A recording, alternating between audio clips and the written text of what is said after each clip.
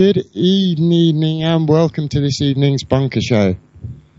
Uh, this evening is the uh, the day before the general election, and we're deep here underneath the sewers of Westminster in our bunker, getting uh, some of the uh, the best people with uh, their feet on the ground to give us uh, some of the best reports that they can from what's really going on around the country. But before we meet our guests, um, here's my co-host Jimmy. Yeah, good evening. Here live from the bunker. Hope everybody is well and happy and uh, weathering the election storm. And also with me in the bunker on comms and in the chat room, if anybody wants to communicate direct with us at the uh, Westminster bunker here on Dark City Radio, is the lady with the big silly grin. Here's Helen. Evening, guys. Looking forward to the show. Uh, jump in the chat room and join me. It gets lonely otherwise. And uh, without further ado, we're joined by a, a couple of fantastic guests this evening. Um, they're the kind of people that you trust with your lives. Uh, Michael Doherty is a, an, air, uh, an aircraft engineer, is, is, where his background comes from. And the uh, Westminster bunker here on Dark City Radio is the lady with the big silly grin. Here's Helen. Evening, guys. Looking forward to the show. Uh, jump in the chat room and join me. It gets lonely otherwise. And uh, without further ado, we're joined by a, a couple of fantastic guests this evening. Um, they're the kind of people that you trust with your lives. Uh, Michael Doherty is a, an, air, uh, an aircraft engineer, is, is, where his background comes from. And the uh, Westminster bunker here on Dark City Radio is the lady with the big silly grin. We seem to have some kind of loop on at the moment. I think we're clear. We've been hacked. We've been hacked, people. Oh. Well, should be sorted. Should be sorted out now. Okay, I'll, I'll, I'll persist. I was just going to say, um, they're the kind of people, I guess, that you trust with your lives. Michael, his background is in aircraft engineering. So he's the kind of guy that will make sure your aircraft is in one piece before you take off. And Darius, is, his background is as an airline pilot. Uh, so he's the kind of guy that you'd trust to make sure that aircraft gets on the gro- up off the ground and I back down again. but uh, um, yeah, it's they're both standing uh, for election tomorrow, and I'd like to I'd like to to uh, to ask them, you know, why they wanted to stand for election, how their hustings were, and how the media coverage was. As, so, Michael, as, I'm, an, as, as I'm an aircraft engineer uh, and I keep people like Darius flying, is Darius standing tomorrow? I am indeed. I will let Darius take the lead on uh, his views, and I'll come back to you in five minutes. Yeah, I'll listen to Darius. Certainly. Go ahead, Cap- go ahead, Captain. okay, it's the pilot in the in the in the driving seat. And Darius, you, you you've got uh, also a background in renewables and meteorology, and um, uh, you've also uh, uh done random acts of kindness in the locality as well. So, Darius, can you what, what, why am I standing? Yeah. Why am I standing? Oh, a very brief rundown. Um, I've never really been too bothered with politics and all that bullshit that goes on up there. Um, started getting a little bit rattled, uh, probably when New Labour came in uh, and realising, hello, it's Tory, you know, all over again. And it was really, what, two and a half, three years ago with this bastard lot, sorry, excuse me, this horrible lot that came in, the Tories, and my utter disdain for how the system is working, because it's not working for the people. I guess it was the the fracking at Balcombe that really stuck a rocket up my backside, you know, and I started peeling back the lies, thinking, this cannot be right this cannot be right. Our government is supposed to be looking after us, uh, and that was the big hello. No, they're not. You know. So it's as I started peeling back the layers, doing research, and just realizing, oh my God, you know, what a crock of crap we're living in. Um, I, I, guess that's what really got me motivated, and it was really. Uh, I've always really been more, an, an, anarchist, if you like it, but I realised that I, I don't see any revolution coming soon, so um, got to do something about it. So it was a few months ago. I just thought, well, I've got three little kids. I do not like what is going on one bit whatsoever. I don't see anybody else really doing anything about it. Green Party aligns closest with my thoughts and feelings. Can't say I agree with everything. Um, personally, myself, where I live, standing as an independent isn't really an option. Um, so I felt, you know, Green Party aligns with my views for the sake of my kids, for the future generations. It's time to get in there and do something about it. And the only way to do anything about it, as far as I could see, is to climb inside the belly of the beast, or at least have a go at it. That's where I'm coming from. Okay, and Darius, you mentioned um, that that uh, the Green Party don't ally with you in every in every way. Um, do you think that uh, you have a voice uh, within that? Do you think it's a, a responsive party? Because uh, sometimes the accusation can be that uh, some of the mainstream parties um, they they they're not responsive to their membership. I mean, the Liberals were very proud at one time that uh, their conference made up their policy, and that's since changed since they've gone into government. Um, so they're no longer as responsive to their membership. And do you think that actually within the Green Party that that's um, more of a, a, a grassroots led organisation?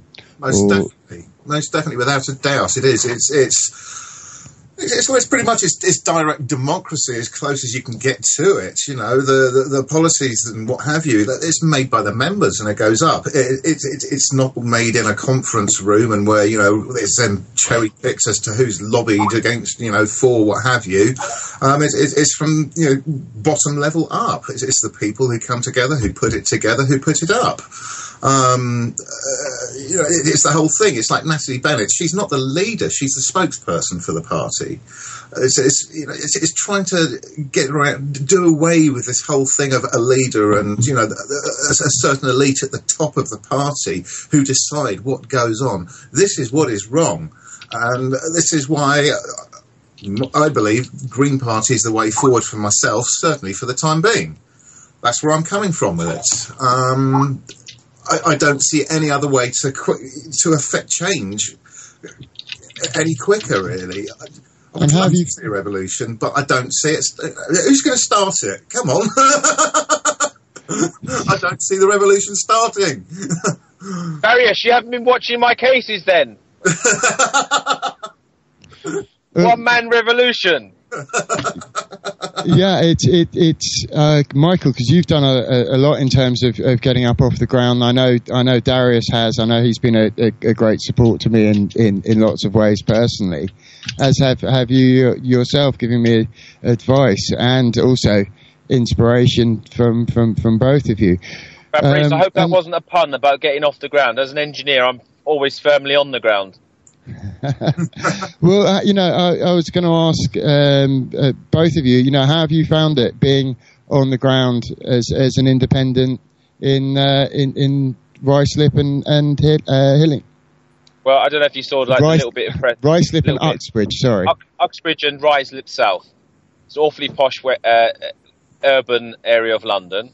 Uh, I, I, grew up there actually, and lovely place in many ways. Uh, I moved out of the area when I started to face police corruption in the area in Hillingdon Borough. Um, I, it is a thoroughly corrupt cesspit in terms of uh, local government, um, probably like most places around the country. And um, my journey over the last six years has uh, brought me to this particular point where I've put my hat in the ring in, in the Uxbridge and South Ruislip, or Ruislip South constituency. Why did I do it? Yeah. Um, yeah. A bit like a bit like um, our captain friend. Um, I did. I, am not really particularly interested in getting to getting into. Par- I'm not interested in getting into Parliament. I think the whole place uh, has been proven to be. Uh, certainly in my lifetime, and I'm 44 this year. In my lifetime, I've seen uh, certainly massive broken promises, um, a Labour government that came to power on a sort of uh, wave of euphoria, a little bit like Obama, where people were thinking real change was going to come into place. And what I then saw through the Tony Blair years is uh, unlawful wars, taking this country um, to faraway places on missions which were, you know, contrived to say the least. Um, we've still got Chilcot inquiry, which is supposed to have been reported, uh, I think it was 18 months ago, supposed to be reported, it's clearly been held off until after this election, where there's questions about why this country was taken to war on lies, uh, into unlawful wars. And that's that, that Tony Blair, for me, um, I, I think, think I was sort of probably traditionally, you know, probably like most people, you, you sort of uh, assigned a party at, at, at birth, sort of thing, where I'd be oh, I'm traditionally Labour or something like that. Yeah. Uh, now, you know, the, these people have uh, so much, you know, lied to the electorate and uh, pretty much systematically both parties. I mean, the, the Labour are saying that they, you know, they're, they're, the party, still the party of the working class, of the people of this country. They, they've destroyed this country through the Blair years. Uh, any, in as much as the Tories have over their term. So I, I, don't really see any distinction between those two main parties. I, I, I do get, uh, you know, where I forget his name. The last speaker was saying about Darius was speaking about uh, the Green Party and and um, that the party is more democratic in that its members determine its um, manifestos. Um, but the Green Party still uh, is still fringe, really, in terms of politics. So I stood as an independent, okay, because I really do think. I mean, part of my strapline have been, uh, uh, has been about kicking the parties out of politics. You doesn't matter whether there's a good MP, uh, whether he's a good man or not, because once he gets in there and they, they get the party whip system onto them, they're just mm-hmm. all voting like in blanket votes for whatever it may be. Now, I will say that, uh, and um, forgive me for saying so, but John Randall, who was the former MP in Hillingdon, a uh, very good man, conservative, was the, in the end he was the deputy chief whip of the Conservative Party, and I'll tell you the exact reason why I stood in the Uxbridge constituency is because John Randall, just like I did, faced police corruption. It was police corruption that destroyed John Randall's political career. Because I don't know if your listeners are, are aware, but John Randall was caught up in what was known as Plebgate. Yeah. Okay. Yeah, that's Operation Alice. Is that right? All of that. Yeah. So John Randall was approached by uh, Keith Wallis, who lied to him and told him he wasn't a police officer, that he was a tourist. He was outside the gates of Downing Street, and he saw Andrew Mitchell calling that um, police officer uh, Tubby Rowland or Toby Rowland, sorry, um, a pleb. It then materialises that that wasn't true. Now, Randall had gone sort of behind the chief whip, Andrew Mitchell's back to Cameron, uh, hence why the whip was taken off Andrew Mitchell and obviously destroyed his career too in the mean, meantime. Uh, it was only Channel 4 exposure that showed that, that, that Keith Wallis was an officer, a police officer. Now, John Randall hasn't said it. He's been knighted now and he's in part, he's, he's, he's probably going to head destined off to the Lords at some point. But he hasn't said that he stood down after 19 years serving his community in Hillingdon because of Plebgate. But I, I personally am 100% sure that's exactly why, because he's lost favour within certain factions within the Conservative Party. And they flew, obviously, Boris Johnson into the area. Now, yeah. Boris Johnson has had a personal hand in my case. So if just for your listeners, just to give a little recap about yeah, what if you Could, if you could give a, a little recap of very very quickly recap. What it what I mean it, in 2008 I discovered my I, I was raising my four, my my daughter myself yeah from about the age of seven through to about 14 and a half I had uh, sole residency which was given to me during when I got divorced uh, and from her mother. And um, which is again pretty extraordinary thing anyway for uh, I, I did that court my case myself I saw straight away uh, sisters and everything. It was very odd. And I thought I could do this better myself, so I just did it myself. I'm an aircraft engineer. I know aircraft systems. This legal systems, uh, very simple in some respects, and compared to what I already study. Now, so I did it myself. That was all good and well. When she was 14 and a half, I discovered she was being groomed, sexually groomed online. Okay, um, obviously happens to lots of kids these days. Very, very serious. Very serious material. Trying to meet her in hotels, very highly sexually explicit, trying to get videos from her and photographs and all of that stuff. And it wasn't just my daughter; it was other children. I could uh, even I could identify from the conversations that I found. Okay. Yeah, it's um, very serious and disturbing. Very serious. And when I reported to the Metropolitan Police, they did nothing. So two weeks later, I called back up to the to Hillingdon Police and um, try and get engagement from senior officers as to what's going on. The police's response to that was to raid my home on the 4th of September 2008. Unlawfully, I mean, proven now unlawfully, raided my home, yeah, with a battering ram, 11 police officers, dragged me naked in handcuffs from, from my home. Uh, in front of full view of my neighbours. Yeah, so obviously just maximum maximum humiliation, maximum harassment. Yeah. Uh, and on, on, allegations that I'd harassed the borough commander's secretary over the phone. Unfortunately for them, these people, I'd recorded the conversations with them. Okay, now this then starts my journey in, into police corruption and uh, dealing with it. Now, I, I, sort of came from the perspective beforehand that the, the police were okay, uh, and, now I've found, uh, you know, from dealing with them, from dealing with the system, with the police watchdog, uh, and not only, you know, all of these accountability systems in this country. It doesn't matter if you go to, you know, the, health service, the, the financial services, uh, your council ombudsmen, the parliamentary ombudsman, they are all there, and there's no question about it. They're all there geared to protecting the establishment, to protecting the state.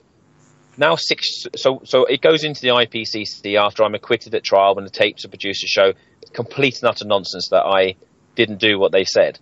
Uh, it goes into the IPCC. A year later, it does it, it was a managed investigation, so one of only about 70 a year.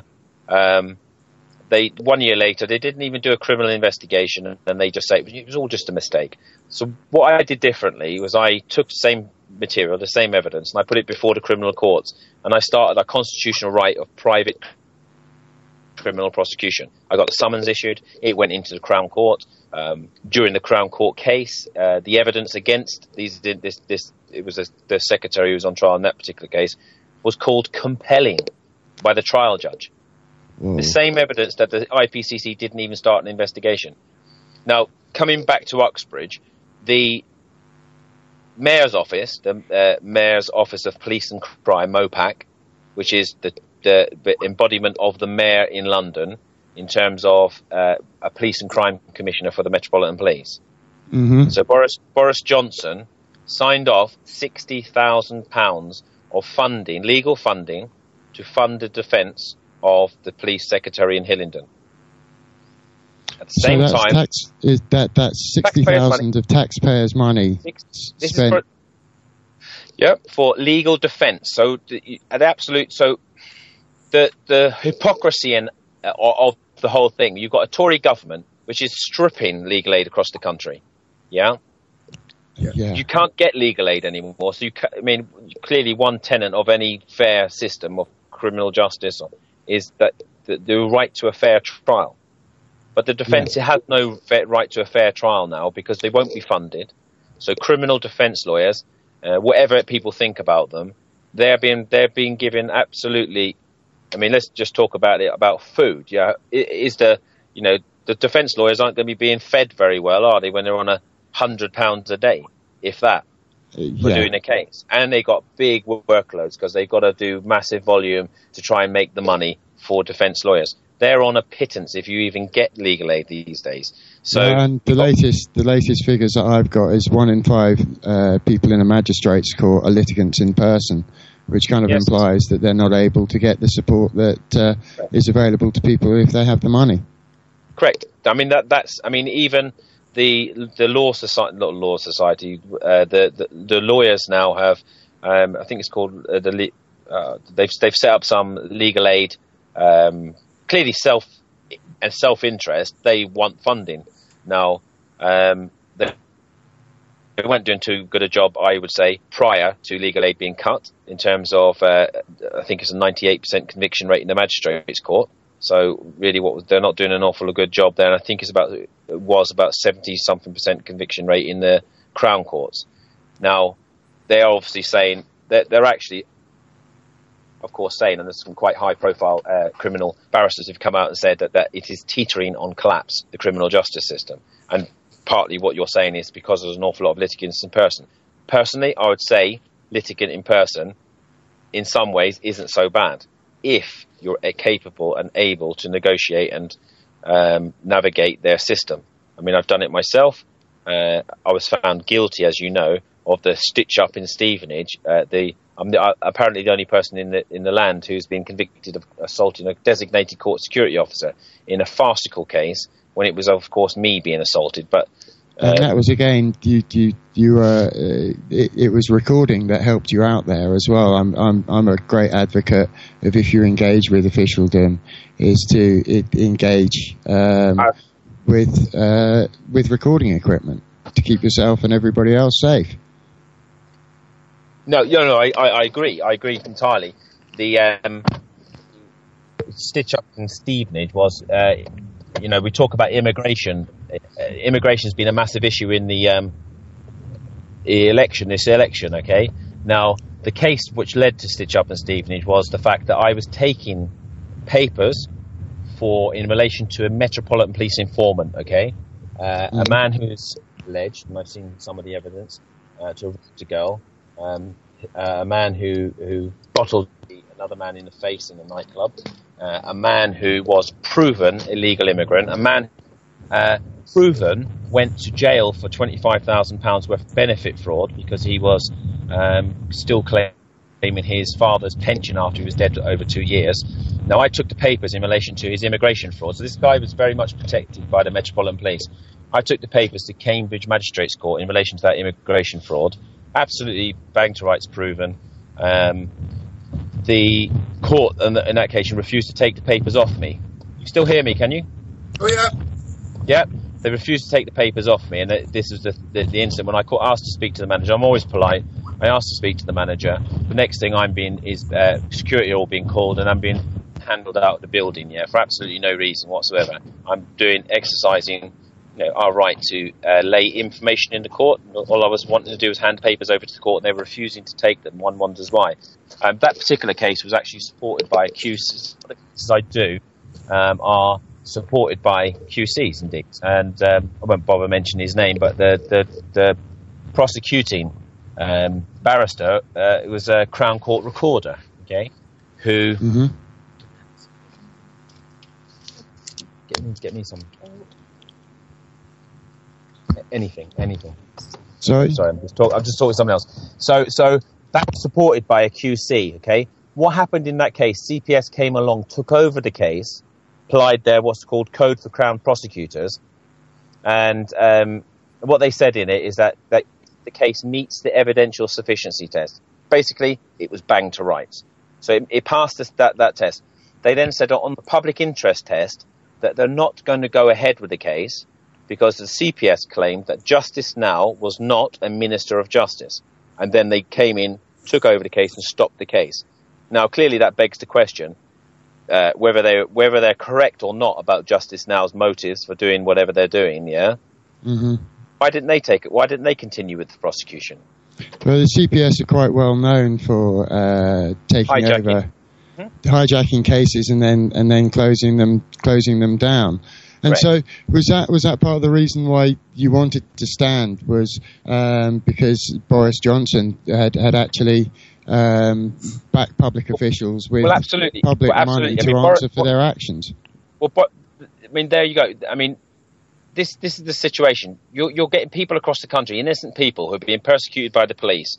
Uh, in, or persecuted by the state. There's, there's, you can't call it anything else but persecution. Yeah, um, the, I mean, all of this will all come out, and there's plenty more on my journey to be going. There's lots of very, very big things in the horizon, but and, and you can only call it persecution. I'm not. When I started on this, one of my main motivators and drivers is that if this is happening to me, okay, it's happening to other people, and that's that's a that's a thought I've had, you know, from the very beginning of all of this. And if I don't stand up, then if I don't stand up, they'll just continue doing it to other people, okay? And as, of course, over the last six, seven years, of course, I found very many victims of exactly the same thing. You stand up to them, they're going to come down on you like a ton of bricks and try and destroy you. But yeah, it's, all, all, I, I was going to say, it, I, I, it's almost like bureaucratic stalking. Um, it, I, mean, I've got friends all over the world now, and certainly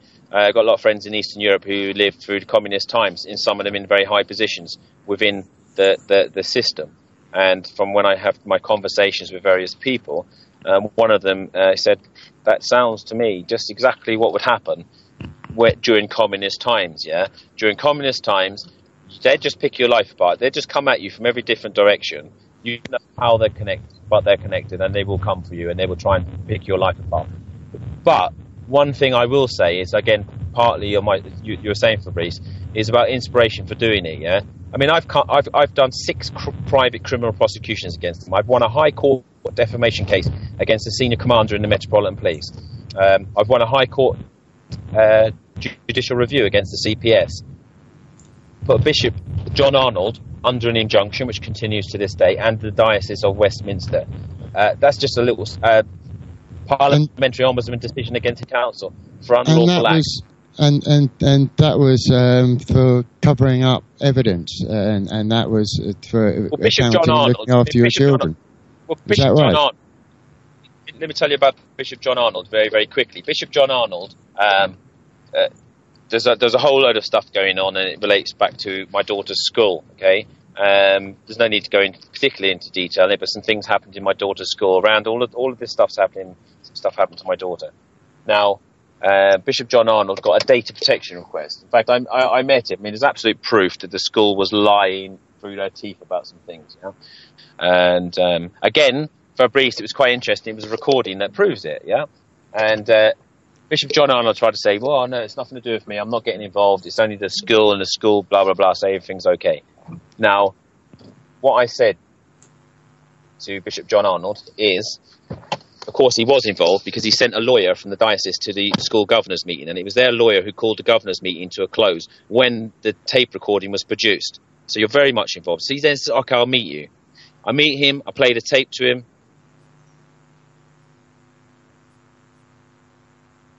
He agrees with me. He says, I'm going to do an investigation. Two months later, he says, It's all been done. The investigation's all cool. I said, Okay, who did the investigation? I'm not telling you. I said, Okay, can I have, a, can I have the written report for them? There wasn't a written report. It was given to me verbally. I said, Okay, no problem. So I filed a data protection request into the diocese. The data protection is, is quite staggering, bearing in mind this man is a trained barrister from Oxford University. He, e- he emailed me the um, an email. And in the email, he says, that he has evidence in relation to uh, the, or data that should be disclosed to me, but that he's not going to give it to me because uh, I'm going to litigate against them, and if, as he's no more use for it, he's going to destroy it. Okay, that's in an email. And so that, and that, that again, if that's an arch, uh, sorry, a bishop doing that, losing, losing files or trying to lose files. And yeah, we, we you know, you've, you've, given quite a few examples of, of that happening. You know, when I was, uh, I'm a similar age to you, Michael. When I was younger, um, we, they, we, when a minister didn't do their job, um, they would be fired, uh, or they would have pressure on them to resign. Absolutely. And in, in terms of, of lost files and, you know, some of the organisations that you've mentioned, they all seem to be Theresa May's responsibility. Um, and it, it, seems that no matter how a minister does, I mean, you mentioned the IPCC not being uh, fit for purpose, um, the child sexual abuse inquiry, um, the, the, hasn't got off the ground, G4S contracts that are fraudulent, um, lost files, um, and that that's one department. Um, and I think that that you know, with with people standing up against, I mean, Boris Johnson, who you're standing against. Uh, there's a recording of him talking to a friend of his, Darius Guppy, uh, discussing beating up a journalist. Man should, and, should have been prosecuted for trying to arrange the assault of a journalist in this country. Yet, yet there's a man standing standing for Parliament in Uxbridge. He's not fit and proper to be standing in Parliament. He was he was ousted from, from his last uh, role as MP in Henley because he lied to the party chair about him having an affair. When that was discovered, he, he stepped down from Henley. Mm. I mean, uh, uh, uh, I'd be interested to hear from from from Darius why why he chose the the Green Party um, to, to to fight against that establishment um, block, if you like, um, because. Uh, it seems, as, as, we mentioned earlier, all three of the, the mainstream parties um, well, they've they presided over the wealth gap increasing between the rich and the poor. I don't think we voted for that. Social mobility, the, the, the how hard it is to own your own home or to make a life for yourself. Um, you mentioned earlier, you know, blowing a big hole in the desert in in wars that that were expensive, unpopular, and if you look at the state of Libya, not effective. So, because I know Darius, you're in you're in the Tory heartlands, aren't you? massively. Where I live, it has always been Tory. It has been nothing else but Tory. Sorry, do excuse me. And it's time for change. Um, never seen anything like it in my area of West Sussex. There is a green person standing in every single ward and constituency, if you like it, which is absolutely brilliant. And I think that speaks absolute heaps and volumes and volumes. Um, to go back to what you're saying, where am I coming from? Why the Green Party? If I'm going to try and do it as quickly as possibly. Um, a friend made a very interesting point, and he was right. Uh, when I was a, a kid, um, I went to a private school. Now, at the time, my father wasn't around. My mother had to work three menial jobs to get me and my sister to said private school in a little battered, beaten up Fiat 127, age 10, 11, 12. My first car. But um, to, where I'm going with this, this school was quite a small private school, and what I'm seeing, I can compare, I can see these private schools and the elitism there to exactly the same as what is going on in government. So you've got basically the headmaster, and you, have got the head boy, the head of house, if you like it. I, you can compare them to Cameron and Osborne, the head boys, if you like it. So there they are, little snitches, um, you know, snitching to the headmaster and the elite inner circle, call it the board of governors, whatever. The top few parents, the really powerful parents who are putting their kids into schools, be it diplomats, be it government people, be it, be it whoever. These are people with serious, serious money, and they're the ones that get what they want. Whereas the, the, the, right down the bottom of the scale, the kids like myself and one or two others whose parents really had to work to get them to these schools, we did not benefit. We were not considered good enough to be treated as equals to a lot of the other kids that were there. And certainly a lot of bullying going on from the, the heads, if you like it, the, the you know, the, the, the prefects, the the head boy.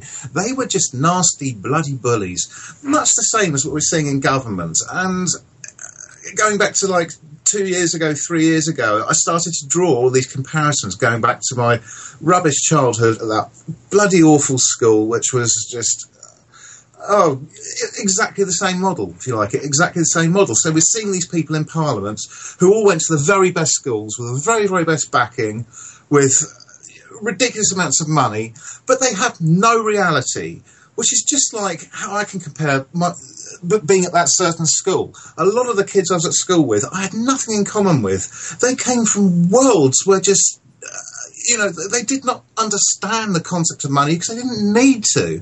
You know, I had the piss taken out of me for being dropped off at school in a Fiat 127. A lot of them were boarders, a lot of them were turning up, you know, in rollers and all the rest of it.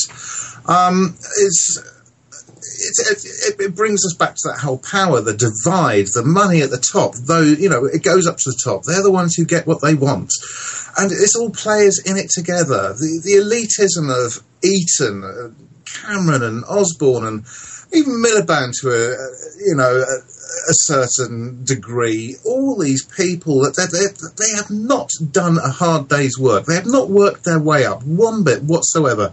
They are well, not they, in touch. I, I, think they all went to the same class at school. Um, didn't they? At uh, George Osborne, David Cameron, and Boris Johnson. Yeah, yeah. So which which kind of again it, it, it, makes it very hard for uh, as, as, mentioned earlier that the wealth gap between the richest and the poorest keeps on increasing. And it seems less and less people have um, any uh, faith in the the media that's that's getting reported. Um, have, have have you found it in terms of the the response you're getting on the streets and from local media? Myself, it's been it hasn't been too bad at all. I've got to say the West Sussex County Times have been pretty good. They've been very good. They did a centre page spread on myself and three other Greens in the area when we signed the, the Citizens Charter for transparency and to work for the people and all you know all that kind of thing. They ran a massive feature on it, and they listed everybody who's running and standing, all those that had, and they listed those that hadn't. And I'm, I'm thinking, you know, for, for pretty much what's always been a Tory paper, that was quite impressive. I found. I'm also finding on the street an awful lot of encouragement. Um, what, the area I live in is predominantly farmland. There's a lot of um, horsey types, you know, equine farms, and there's also a fair, a certain amount of your hunty types. we won't go there at the moment. That's something else altogether. And I was expecting an awful lot of slagging off, a lot of obstruction, a lot of bad mouthing. And to be completely honest, um, I've had nothing but encouragement. Um, so, a guy who's on the local parish council, he's been Tory all of his life. Um, he saw me d- down the lane the other day. I went to go and collect some eggs, and he was coming up the road, and he stopped me. He grabbed my hand and he said, "Bloody good luck for next week, my son. Good luck. I really wish you the best." And he went, "I've always been a Tory all of my life, but I've had enough of this shower, and I think you are going to be very pleasantly surprised at the amount of support you get." My jaw hit the ground. It really, really did. So I'm feeling the love, you know. so, hey, hey, hi, Darius. It's uh, Jimmy here. In, in a nutshell, what what would you say? What would you say? Uh, perhaps the top three reasons for this um, sudden um, surge of, let's say, interest in alternate parties to the to the major three. I would say certainly for my area, certainly for East Horsham area, it has a lot of it has got to do with infrastructure and housing and this ridiculous rampage of build, build, build, build, build, build, build. Everyone's against it. The amount of um, objections that have gone into Horsham District Council have been massive and ignored, and it's been whipped by the Tories. You will have it. It will go for it. Um, I've been using that as my main in with talking to people. I've been using things in sandwiches, and as you say, the, the threes. So I've been using housing, I've been using the second runway at Gatwick, and I've also been using fracking, which is rife around this area, as many of you will know. West Sussex, they are really trying to have it on. So, out of the three things, I can always find something that I can move across to to make a point and get something back from somebody. Um, it's been an interesting process learning how to speak to people without making them feel stupid by saying, "But don't you know this? Don't you know that?" I've, I've found that an interesting process by using, you know, the, the, three main things: sandwiches. I can sandwich other bites between them and then move across if I see it's getting awkward and whoever I'm speaking to isn't happy about it. I can then sidestep it onto something that they perhaps do agree with. Once I've got them agreeing with me, I can then move it across to something a little bit more controversial and make points. Um, there's been an incident in my area where 200 year old oak trees were just hacked down by a landowner who thinks he's, uh, you know, mightier than thou because he's a multi-millionaire. The, the guy, the guy's a con man, I've got to be careful what I say. I can't name him or say where he is, but he, he might have something to do with local council. And uh, funny how he gets planning permission for whatever you like. Well, um, one, of the, one of the things with the Greens uh, uh, I think is really interesting is their you know anti-corruption stance, and you know just over to Michael for a second. Um, with with the election coming up, what what, what, what would you say are some of the predominant well, let, things? Let, let, me say, let me, you, you just touched on the Greens and anti-corruption. Okay, now Baroness Jenny Jones, and this is not down to you. This is down to me, and Jenny can sue me if she wants. Um, Jenny Jones, um, to her much, I'd say, disgrace, the defamation case, in which I was which is just basically police smear. Now, Jenny Jones wrote to the um, Commissioner of the Metropolitan Police at the time, Sir Paul Stevens, um, off once an article called Webber Lies. You can see it on my uh, website, written by Journalist of the Year last year, Michael Gillard. Now, that article called the police, the IPCC, liars for covering up the grooming um, in my case. Jenny Jones took it up, and um, as a obviously constituent part of the GLA, and she wrote to Paul Stephen asking for answers. The response yeah. to that came. To, the response from that came from uh, a, com- a commander in the Metropolitan Police to Jenny Jones in the form of an email. That email was the most scandalous, scurrilous um, attack on me personally, with complete and utter lies. Yeah, obviously tailored to because obviously Jenny uh, does a lot of stuff for uh, women's rights and all of this sort of thing. Very tailored to turn her off supporting me. Now, Michael, I'm just sorry to interrupt, but um, I was just wondering, you know, would, would you say corruption would figure in your top three gripes that you've been hearing on the streets as far as you know upcoming upcoming I, I, um, I mean, attitudes towards the election? Yeah, certainly from from what I can see, corruption is clearly a massive issue across the country, and it fits. You're just talking about planning issues. The accountability, the lack of accountability. Again, Fabrice talked about it just a moment ago. But people would resign; they would fall on their own sword when they're caught out. They'd at least have the the, the grace to do that. It doesn't happen these days. They just do after scandal after scandal. They continue in their ministerial posts. They come in and out of politics they should be banished from politics. When they're shown to be unable to actually conduct themselves in a proper manner, they should be banished from public life. And it's about account, public accountability. There are many good police officers, there are many good politicians, many good councillors out there, so but there are many corrupt ones, and they are not being held to account. Accountability, obviously, breeds allows. Of course, people are going to be corrupt. It's a bit like a yellow line system. If there isn't any, I know people don't like parking tickets, but I guess there is some benefit from people not parking on double yellow lines. They might be there for a reason, etc., etc. So, so was- essentially, transparency um, all the way from the top down, you know, so everybody can see. Without question. Without yeah, question. Yeah, yeah. And, and, and, and, how do you feel about lobbying? You know, like is that one? Is that something you hear people uh, discuss? You know, as far as the uh, concerns with the, the major three parties. I mean, I, I, I haven't heard. I don't think. So I think people uh, going going back to Darius's uh, conversation there, uh, sort of the NIMBYism. People are very concerned in Uxbridge about HS2, about the, the, the runways that may be coming at Heathrow Airport, um, those type of personal issues, and, and, certainly the whole hustings in in the Uxbridge area was steered towards those things. National scandals like child abuse cover-ups within Parliament in Rotherham, in Oxford, and across the country.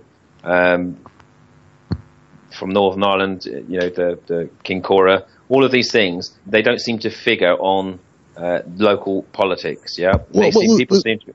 The silence during the election campaign on, on on the child abuse issue has, has been deafening. You know, like, um, has that frustrated you? Have you heard people on the street actually mentioning that as an issue?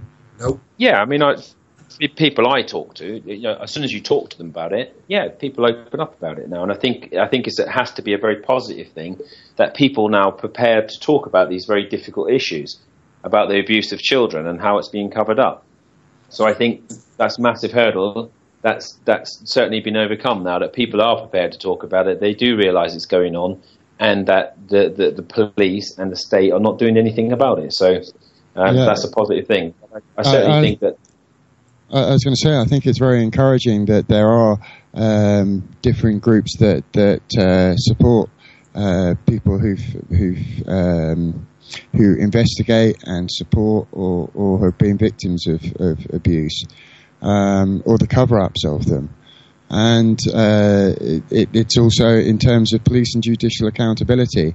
It's nice to see there are more independent groups springing up that have a, a, a cause um, that, that they can all push towards um, from the ground up. And I know that you uh, you have justice now uh, that, that is a, a, great conduit for, for people with with issues uh, in that field.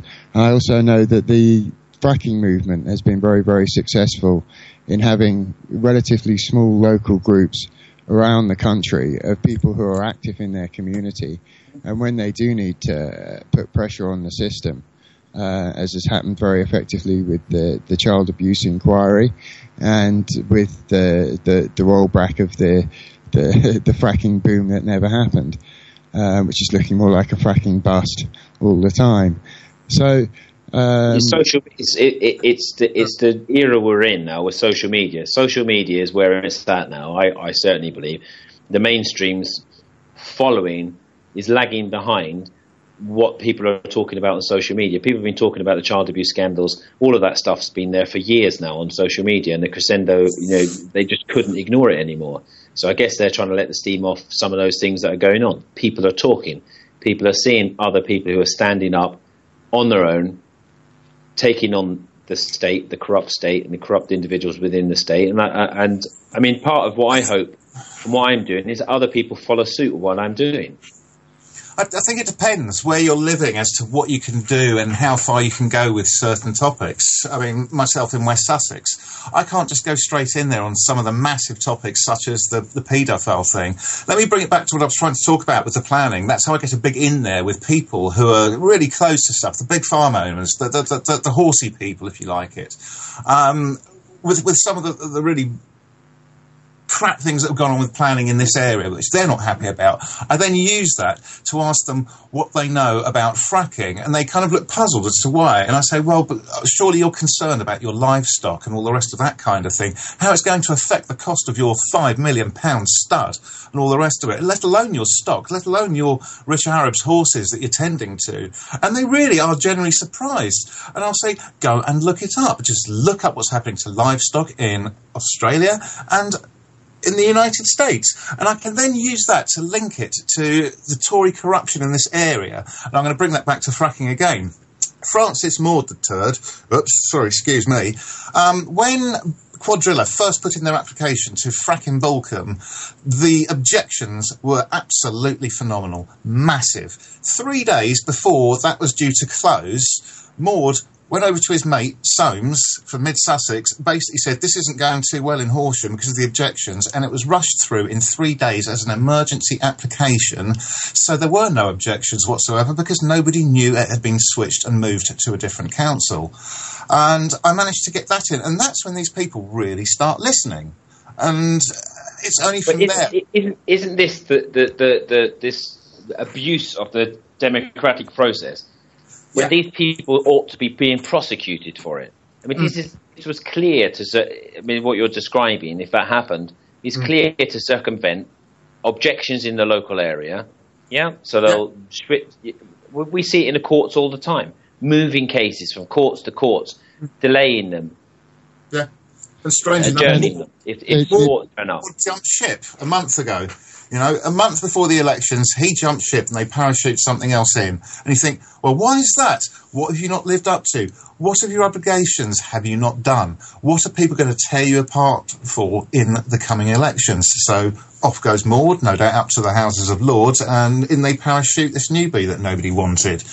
Uh, yeah, it stinks. It really does. Accountability, there is none.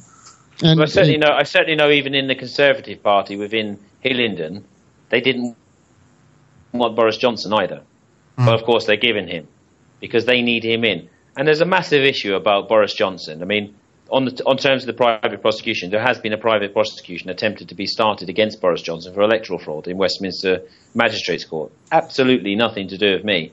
But, you know, you know, I'm, I'm proud of the fact that in 2011, since 2011, I've been banging on about private prosecutions, and I think private prosecutions is pretty much in the minds of most people nowadays. People know about it.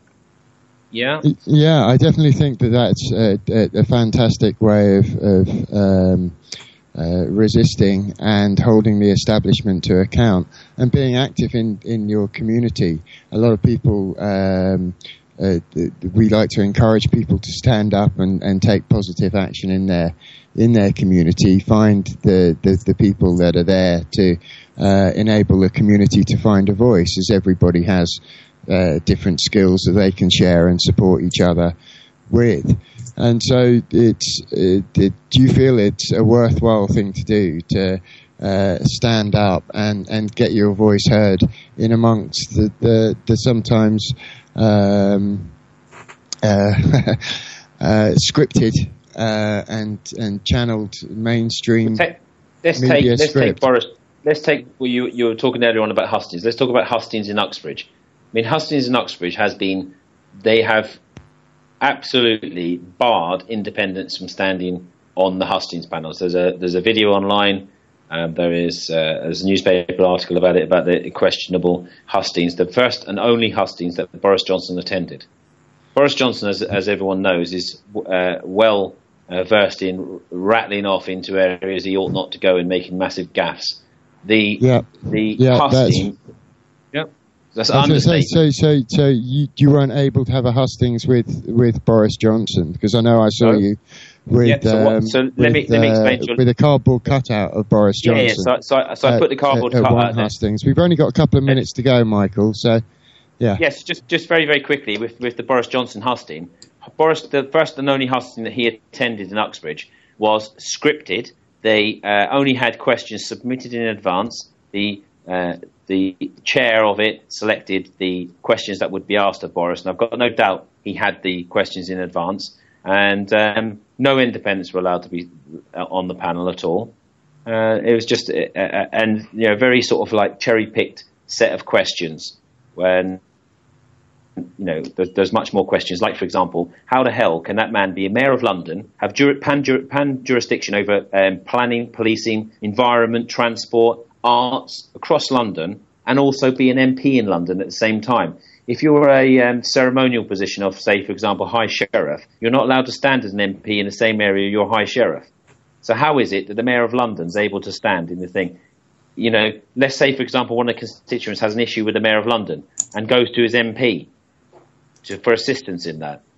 Yeah. What, what, does Johnson What does Johnson do? Put, put on his MP hat, yeah. put on his mayor hat. Exactly. It's just it, it it's definitely not Massive transparent, and that's what I'm really really reassured about about having people like you and people like uh, Darius standing uh, uh, as as representatives for the people in their community.